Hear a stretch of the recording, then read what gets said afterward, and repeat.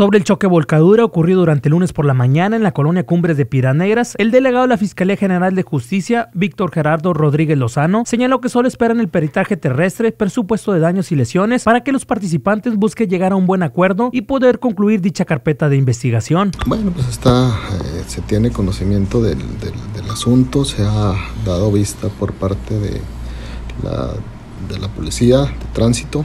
Este, empezamos a a practicar o solicitar la práctica de los dictámenes en tránsito terrestre y avalúo y los que sean correspondientes para poder este, solucionar el asunto. Eh, pues también vale la pena comentarlo, son delitos mediables, esperamos o damos la opción para que las partes este, puedan llegar a una solución y de lo contrario pues se tendría que judicializar el asunto. Noticieros Rancherita del Aire, siempre líderes.